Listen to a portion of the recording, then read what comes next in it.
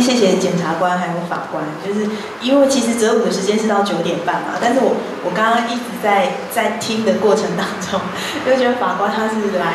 就不只是来分享，而且他也准备好挑战。我本来心里有想到说要问他包青天的事情，然后他就自己自己已经做好准备了这样子。然后还还有很多，他提出非常多实例，然后重大案件来跟大家分享他的观察。还有就是他们用真的是非呃，我我就发觉我居然听得懂哎，好，然后包含检察官的角色哦，原原来就是你你把一盘菜应该有的内容什么，然后跟程序呃。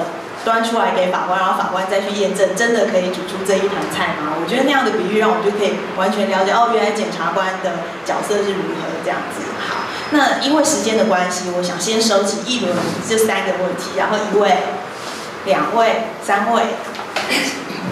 啊，感谢法官、跟检察官，公党的赛了吼。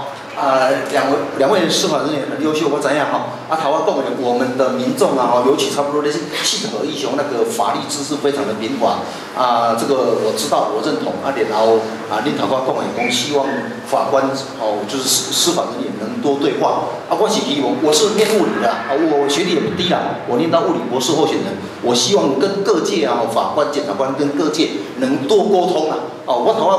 我就是要等说话说这几分钟，那两位很优秀，我知道哦。但是我从啊几十年前碰到的司法人员啊，绝大多数都非常烂哦。我随便讲一个例子，我妈妈十几年前选立法委员哦，阿姨都啊就是比较粗心大意，阿姨也比较啊有点有点乱来的。她办了七百桌，啊请了七千个人啊，那个餐券呢哈，七千个人餐券大概只卖了一两百张。啊，其他东西有欠，就是流水席啊，那当然是有罪的啦。啊，有罪，我妈妈有罪，我没话讲。然后总部有一个赵小姐啊，啊，她也被判有罪，最后都是反省啊，她也被判有罪，她被判有罪。我妈妈被判有罪的理由的是说，啊，餐券你是用送的，你不是用卖的，你根本就是在办流水席。所以你这个候选人，你有罪啊！而且那个检察官话说很重，说一定要判重刑，要求处四年有期徒刑。啊，这个总部的赵小姐她被判有罪啊，因为他们掌握有证据，说这个赵小姐卖了两张餐券。啊，我就搞不懂啊！啊，你说餐券用送有罪，哎呀，他卖两张餐券为什么有罪？好，啊，然后这个事情经过十几个法官的审判，最后这个赵小姐还是被判那个我我忘我忘记了，反正就是大概一年半半钱呐。哎，啊，他你餐券用送的就是办流水席嘛，当然有罪嘛，我妈有罪没话讲嘛，最重罪轻另外一回事啊。他卖了两张餐餐券，为什么会有罪？啊，十几个法官都说啊，他因为卖了两张餐券，所以他是共犯。你你你在扯什么东西啊？啊，我我讲简单一点哈，然后后来我们才搞清楚，那那一个人买两张餐券是跟另外一个人买的，啊，他可能是后来来跟赵小姐聊天，啊，产生一个记忆，就说赵小姐，其实赵小姐一张餐券也没有卖，啊，就是这么扯的哈，啊，所以所以我我这个搞不懂了，啊，然后这个事情让我想起三十几年前一个判决，一个小姐一违纪背的。啊，那假设这样五三张三张叫 T 位，能驾驶赃车啊，然后就是他只去工作一个月啊，他想说我月底就要离开了，因为他知道他知道好像有在卖赃车啊，然后那么那么不幸一个月还没做完就被抓到了，被抓到，然后他也讲说我知道他们好像在卖卖赃车，他很笨，他承认这一点，但是事实上后来证明他卖的就不是赃车啊赃车那两台根本就不是他卖的啊！后来他因此被判有罪，他本来这几天就要离开了，后来被判有罪，后来他自杀。哦啊，所以我的意思就是说，他根本也没卖到赃车，赃车也不不是他卖的。这里面有赃车，但是他处理的是合法的那一部分，非法的那一部分根本就不是他处理的，啊，变成他有罪，结果自杀。有没有什么忘记了哈？啊，然后我那个三个月，呃，三年前，啊，碰到那个一个车祸。还蛮就爆雷啊！检察官跟我问得一清二楚，当然对方讲的是谎话，但是对方那个检察局笔录我看不到啊。他说我用掐头弄别掐，啊，事实上不是，不是这样子。照片也一清二楚，那个录影带一清二楚。我车子快要过了，他从这边来撞撞我的后面，但是我的责任比较大，因为我是闪红灯，他是闪闪黄灯。然后检察官跟我问的一清二楚，他说：“哎，你你是怎么撞的？”我老公，我阿你不得啊！啊，我这边闪红灯，我责任比较大，我知道。哎，来弄外后边，来弄外切切来上后边。啊，然后那个起诉书写出来，竟然采用他的说法。啊，然后呃，检察官当面问他，他他讲的正不正确？啊，他说我没意见。他讲我没意见，啊，我我都不得啊，哎，弄外后边。然后检那个起诉书写出来，竟然是我用车头撞他的车子，录影带也不是这样，你相片你你不会看是不是？所以哦，是不是很离谱啊？然后最后我把他弄到高分院啊啊，高分院，他总共只呃医医药费六千多块，啊修理欧都卖五千瓦锅，要求六十八万的赔偿，我坚持不可能，我就被判四个四个有期徒刑，一颗罚金，然后啊 OK OK 啊，然后。高分院呢？哦啊，我我高分院说那个车子的吼擦伤很严重，其实那个擦伤不是我撞的，是柏油路磨出来的。他连柏油路磨出来也看不懂，他，说是我撞的，撞的稀巴烂，根本不是。那看就知道是柏油路磨出来的。所以我认为哈，这个司法人员真的我很很难理解，为什么这么多程度这么低的？好，谢谢。开始。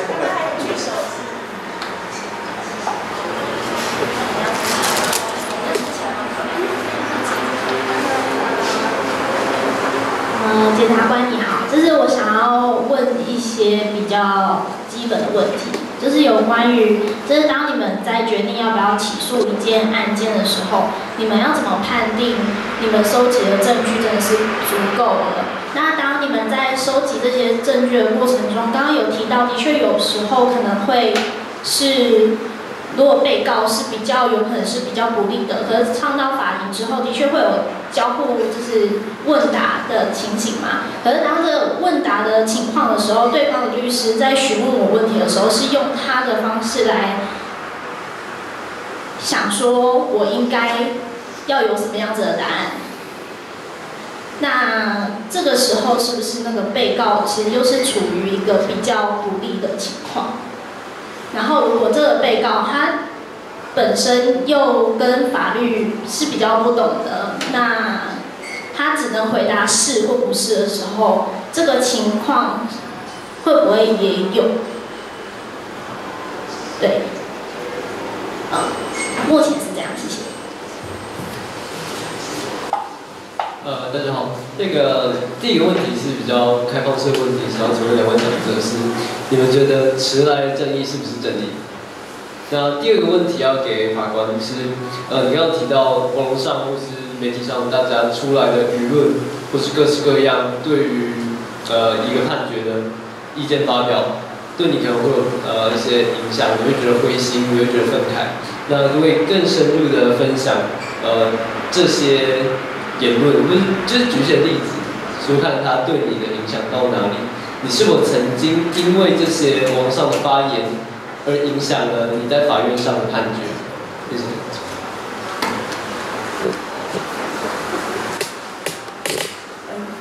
不好意思哦，因为我等下可能要赶车，所以我就是稍微做一些简单的回应啦哈。就是第一位先生，其实你讲到就是我们呼应我们刚刚讲的哈，就是人证的问题哈，就是人的记忆会有错误哈，所以为什么一定要物证跟书证会比较保险啦哈。第二个部分就是第一时间的搜证，如果没有搜证完全的话，这个案件到后来就会反反复复。好，所以我想说他刚刚的例子哈，可能是给我们一个很好的注解啦哈。那关于第二个那个美明的问题啦哈，第一个问题是说我要怎么决定在一起，就是证据到。够不够起诉？哈，这件事情是一个很微妙的问题。这个问题其实困扰着检察官职业的一整个生涯。就像我刚刚讲的，你现在觉得这杯水有没有八分满？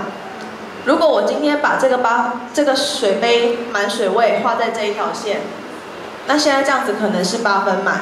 但是如果我把这个水杯的满水位的线放在这个杯缘的时候，这杯水现在就不是八分满。可是每个人的这个线画在哪里？其实会有差别，可是我们的法院并对这件事情并不是没有努力的，他可能会对于说，就是借由这些判决的无罪判决的累积，告诉我们说，这样子的类型的案件，这个证据要堆，就是我们一个证据这样子叠叠叠起来嘛，要。到什么样的程度，那可能九九像像我刚刚讲的定罪率九十五趴以上，九十五趴以上的法官可以接受真的有这样的事情。所以美美问的这个问题其实很好。这件事情我很难用一个非常具体的方式告诉你，但是我要告诉你说，其实我们院检的互动，其实在于判决上面，我们会去观察说，我们这样的证据到底法院可不可以接受。就举一个很简单的例子，例如说偷东西窃盗，通常最完美的状况是摄影机就拍到你把这个东西摸到你的口袋，后来这个东西在你的口袋找到。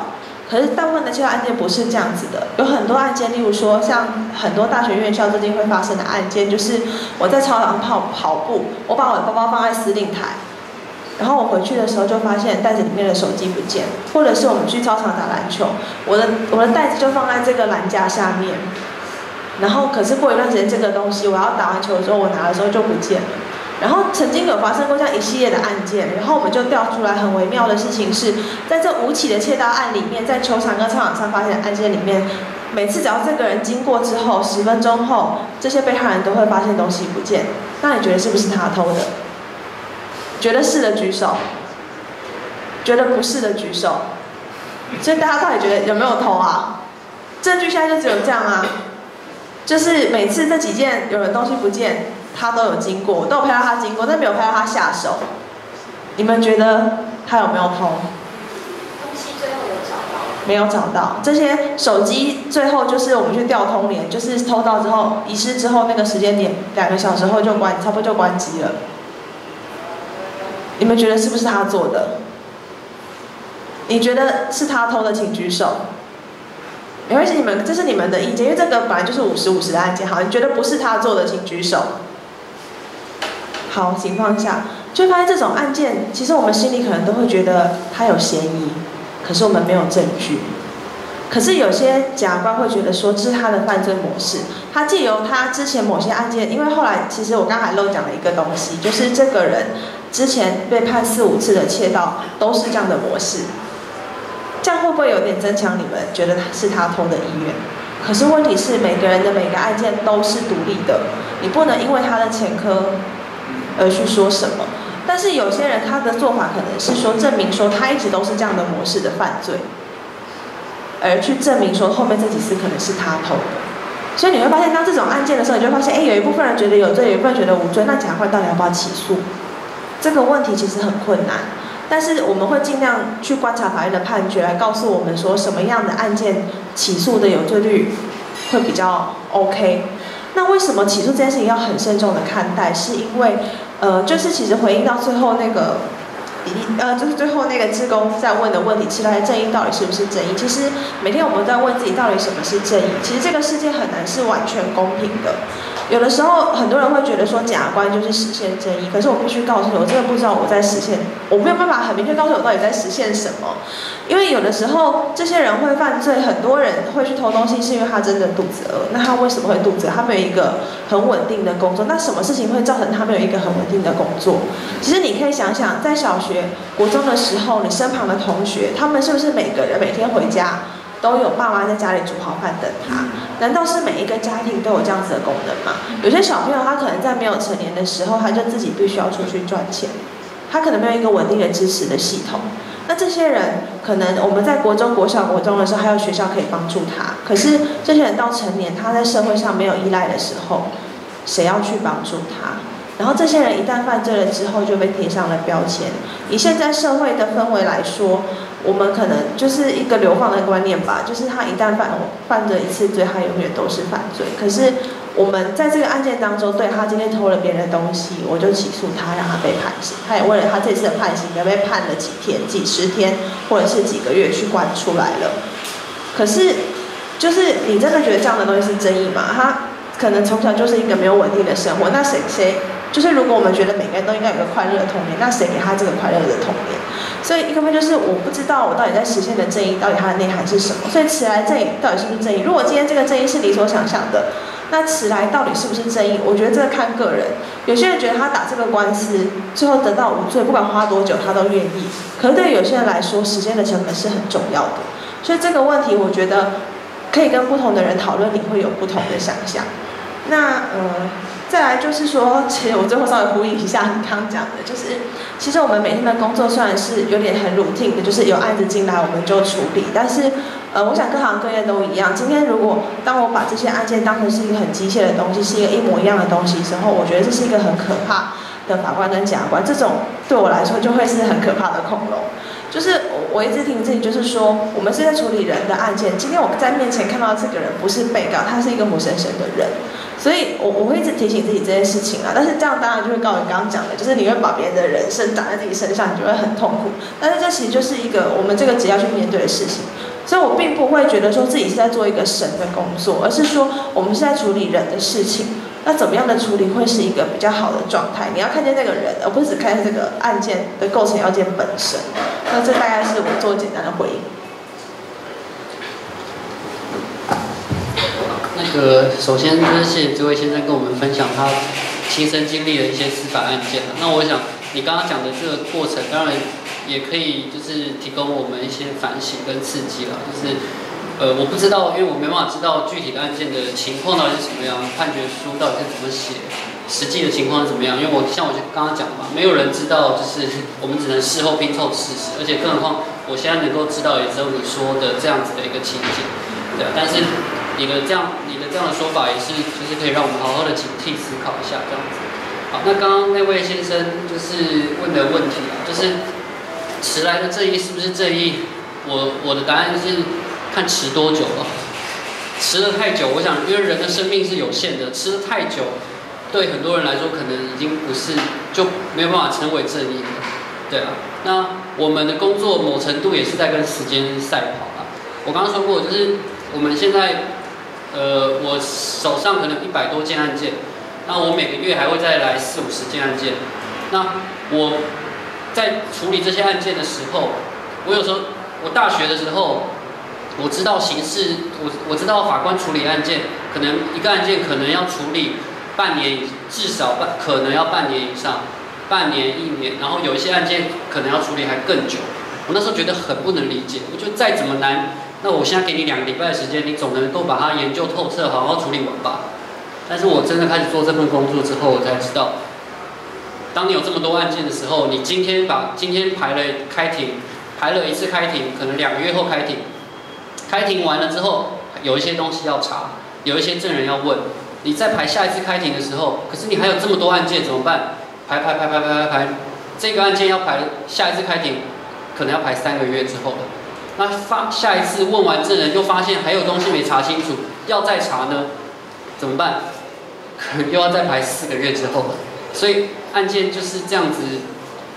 有这么多的案件，然后我们要在有限的时间内处理完，就是我们只能尽量跟时间赛跑。然后，当然有的时候，呃，就是因为现这样子现实的状况，没有办法很快的给当事人就是很快的有一个结果。但是，我想这个是另外一个很重要的问题啦，就是如果大家有在关心司改不是会的话，这也是要怎么样处理法官、检察官的案件负荷，要怎么样在源头上面解决，或是在原额，或是在其他各式各样的方面上面。给我们的工作一些帮助，这可也是蛮重要的问题。然后另外一个问题就是，我有没有因为报道来改变我自己的想法？呃，可能我现在还没有处理到够瞩目的案件吧。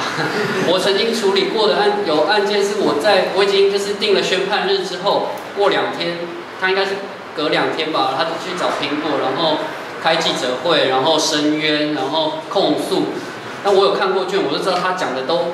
都是他自己的讲法而已啊，然后但是苹果就是全部都照照抄他自己的讲法了，那可能就是想要在那个之后就是给我一些压力或者怎么样吧。我开庭的时候一直让他讲话，他也讲了很多话，他觉得还不够，他还要去社会，他还要通过苹果给我压力。但是我决定，我们开庭完就会立刻评议，评议决定了就是决定了，基本上除非我真的觉得有很重要的就是状况。基本上不太可能会因为，而且也不应该因为他额外在其他那边主张，因为我们审判有个很重要的原则是，证据资料当然是只能用审判中我们有提示给大家看，然后我有用，我有看过，然后我有使用的这些资料，然后有给两兆都确认过，大家都同意使用，大家同意使用，或者是大家都确实了解这些资料的前提下，我们才能用嘛。对啊，所以当然不会因为这样而改变我的做法。然后，其实我自己有一个有一个问题，就是今天小灯泡案就是宣判嘛，然后他在里头其实一直有提到说要引用两公约，那但是其实会有很多社社会大众回应是说，两公约台湾又不是联合国的会员，我们要去遵守它嘛？那我就想想要请就是请两位就司法人可以谈一谈对这个案件的看法，然后跟我我在我在。读这个判决过程当中，他他中间虽然一度有有一段，其实在说，因为因为那个因因为王景玉曾经有怎么样的经历，以至于他如何如何，然后是可以怜悯的，但是他又说，总之他是一个无法自我反省的人。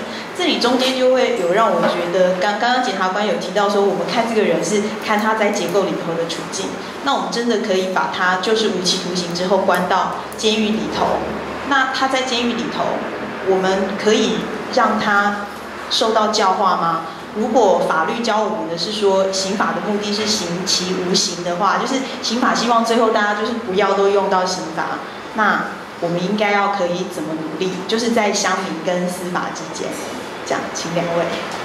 我先声明吼，两公约应该是法官的奖项啦吼，但是对啊，我们确实不是那个什么，就是会员国嘛，反正我们在国际组织上当做是一个幽灵这样子。但是因为我们两公约有弄一个施行法，然后把它转变成国内法。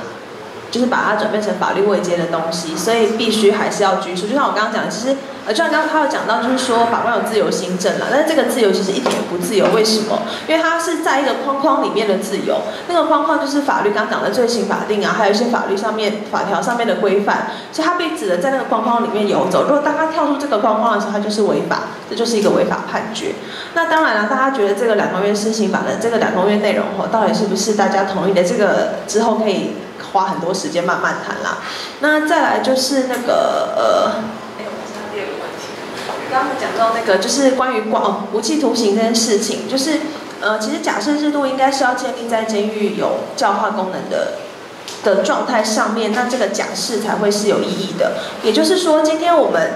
呃，不管是什么样的罪，我们把人关进去之后，一方面是让他隔绝环境，另外一方就是剥夺他的自由嘛。自由对他来说很重要，所以剥夺他的自由。那在监狱里面，我们如果能够救他的呃，如果说这个人会犯罪是因为心理的状态，或者是说是因为他没，例如说他没有能，就像切到有些人没有固定工，他可能是因为身体不好。但是有些人其实是因为他没有专业的技能。那如果我们的专业能够教他一些专业的技能，他出来就有谋生的方法了嘛？那他就不需要去偷去抢了嘛？那可是现在我们的监狱，第一个就是我们能够拥有的资源非常的少，那更不用说因为监狱的超收，所以导致例如说这个房间原本是住九个人的，或者说十二个人的，那怎么决定谁今天可以躺着睡觉？那一个封闭的环境里面会形成什么样的状态？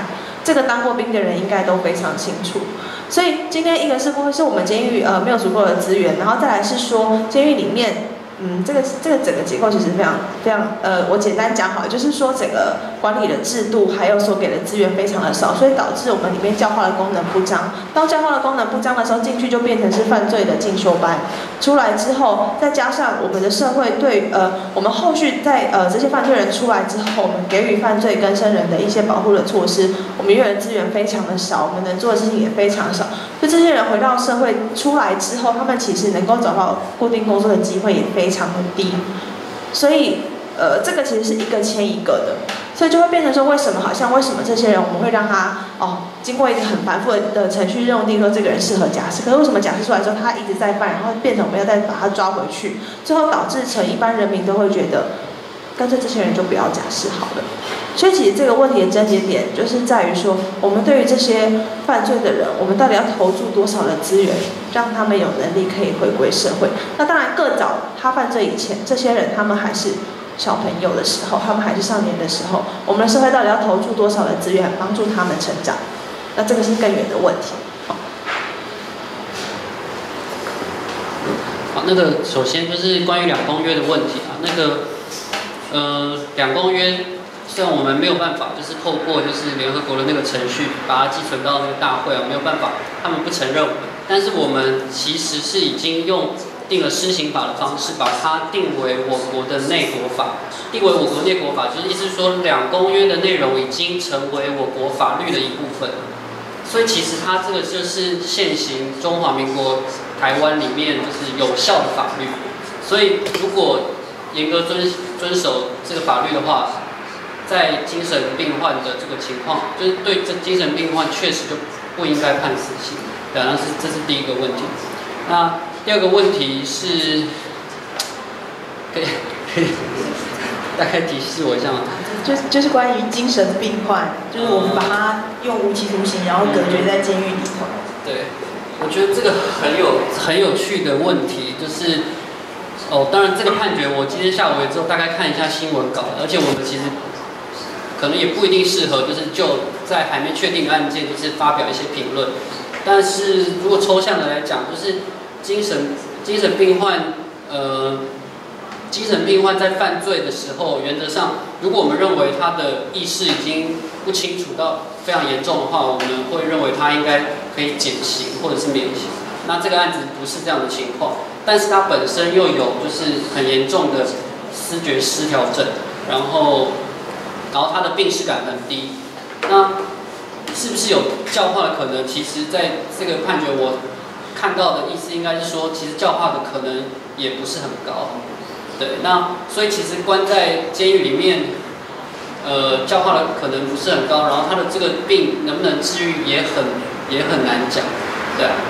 那我觉得，当然这可以思考的一个是部分是那个林检察官刚刚讲的，就是监狱的教化功能的问题。台湾的监狱里面的环境的确是非常糟糕，尤其是对于这样子有非常严重疾病的人。我觉得很有可能，其实没办法给他太好的一个一个处遇，然后要要好好的治疗他，也是会有很大的困难。抱歉，我讲一句话哦，这个凶手在美国的话，他会进有介入的精神病院啊，有介入的精神病院，绝对不会进监狱，就是进有介入的精神病院。那诶，最后一个问题给留给线上，线上有人在看直播，然后他有问说。他有问说：“我想，我想问法官，对现在司法警察制作检举笔录、申请搜索票的个人感觉。这个，它上面是这样。呃搜索票的申请是这样啊，哈，就是。”警察们就抱着卷来找我们啊，然后我们看了盖过去之后再给法院审核啦。那搜索的门槛，呃，像刚刚讲，就是如果说我们起诉的门槛是八分满的话，搜索的门槛其实是非常低的，因为它其实是一个收集证据的方式，不管是对被告有利或不利，都要看我们扣到的证物再去做解读嘛。所以在我自己在审核搜索票的时候，就是第一个是，呃，如果是有检举人的话，我们要去看一下说检举人说了什么，再就是看警察做了什么样的查证。我们不太可能单纯就有一份笔录就说他说了对，拜托他是谁我也不知道，我也不认识他，我也不知道他长得圆的扁的什么鬼之类的。就像我刚刚讲的，证人一定会有出入，不然的话就变成人缘很不好的人，三人成虎，人缘很不好，人永远都会判有罪，这件事情是不太对的嘛，因为总是有人人缘不好嘛，对不对？所以在我们在审核那个搜索的时候，我自己的话就是除了证人笔录以外，那我可能会看警察求求证的一些东西。然后去做判断，然后就呃，当我觉得 OK 的时候，就盖给法院。那法官，那在这边说明一下，其实现在那个新的刑事诉讼法其实是要求，哦，其实现在已经要求就是，呃，法院大的就是比较规模比较大的法院，其实应该要设强制处分专庭。所以其实我们现在有一批，呃，我们法院应该是五位法官吧，他们专门在每天就是处理就是所有的。